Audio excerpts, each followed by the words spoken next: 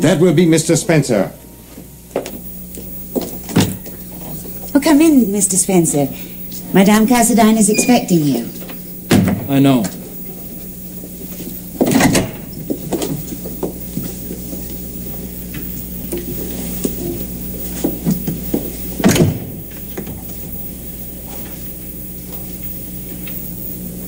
I was told you insisted on seeing me.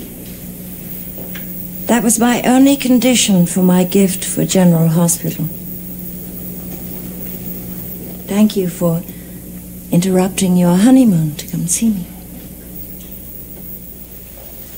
I promised I would.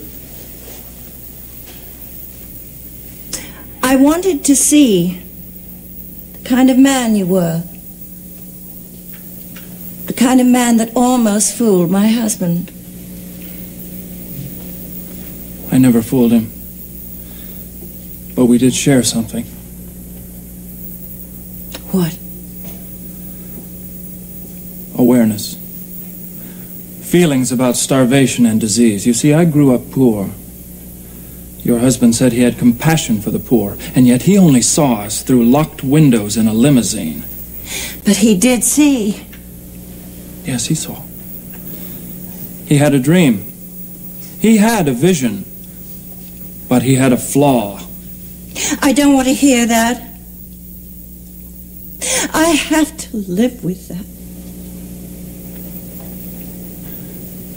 I want you to know that I tried to save him.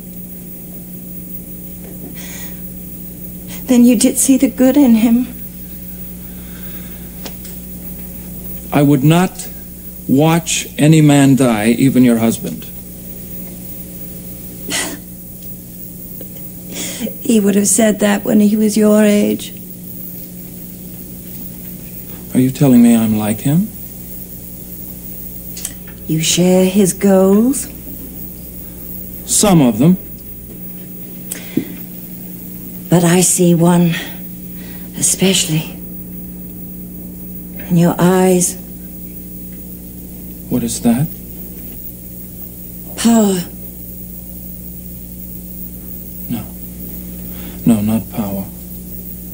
You see what power buys success, respect. That's what I need. You seem to forget. I was one of the have nots. Someday you shall have those things.